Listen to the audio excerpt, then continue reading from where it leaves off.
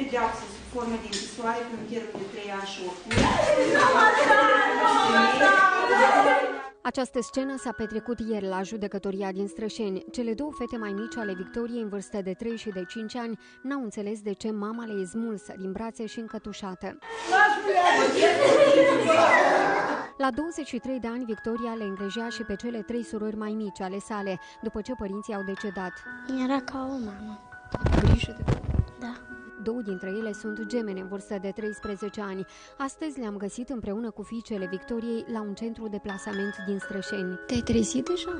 Da. Ce ai mâncat? Pâine și ceai și picene și macaroane. Între timp, sora ei doarme liniștită. Noi le spunem că s-a dus peste să facă bani și le cumperi păpuși. Cele mai mari ne-au povestit prin ce au trecut de când au fost aduse în casa surorii. O bătea foarte tare cu pumni și cu picioarele și o trăgea după și pe noi tot ne bătea pe amândouă cu, dacă ne ducem după, sau după țigări sau după biere. Cu varca vă bătea? În sat, toată lumea știe despre faptul că această femeie era tratată cu pumni și cu picioare. O bătea, a venit odată vânătă la un ochi, cu un picior în burtă, țin minte, o numea că îți țin copiii lui mătă. Dânsa fiind însărcinată și uh, lovită, a pierdut și sarcina. Victoria însă nu a plecat capul în fața violenței. În vara anului 2014 i-a depus actele la divorț și a cerut autorităților locale să o protejeze.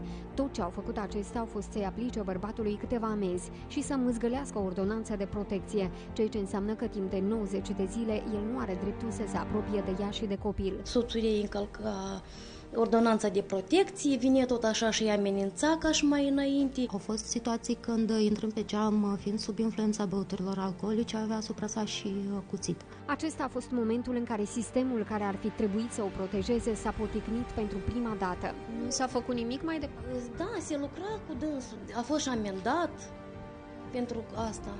Și atât.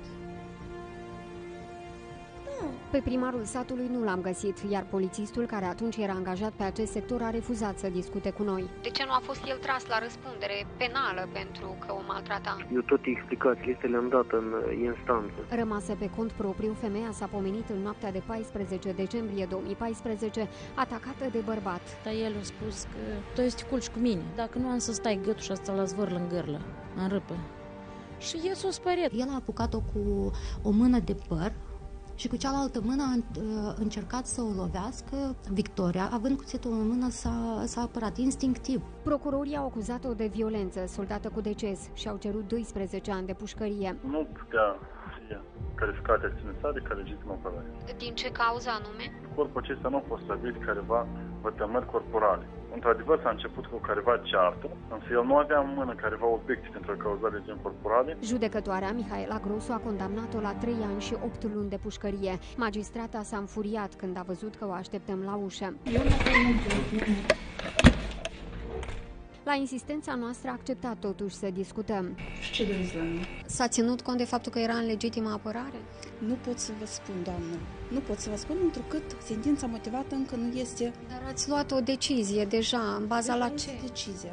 În bază o să vedeți atunci când o, fi, o să fie dată citire sentința motivată și nu mai dau niciun comentariu. Aceasta a fost a doua mare lovitură pe care sistemul i-a aplicat-o Victoriei. Sentința judecătorii strășeni uh, este uh, nelegală, ținând cont de faptul că urmările la care s-au ajuns este din cauza faptului că autoritățile la timp nu au intervenit. Dacă ei l-ar fi tras la răspundere penală pe soțul victimei, nu s-ar fi ajuns aici. Sistemul de protecție a victimelor violenței în familie este în Moldova la fel de putred ca și rădăcina acestui copac.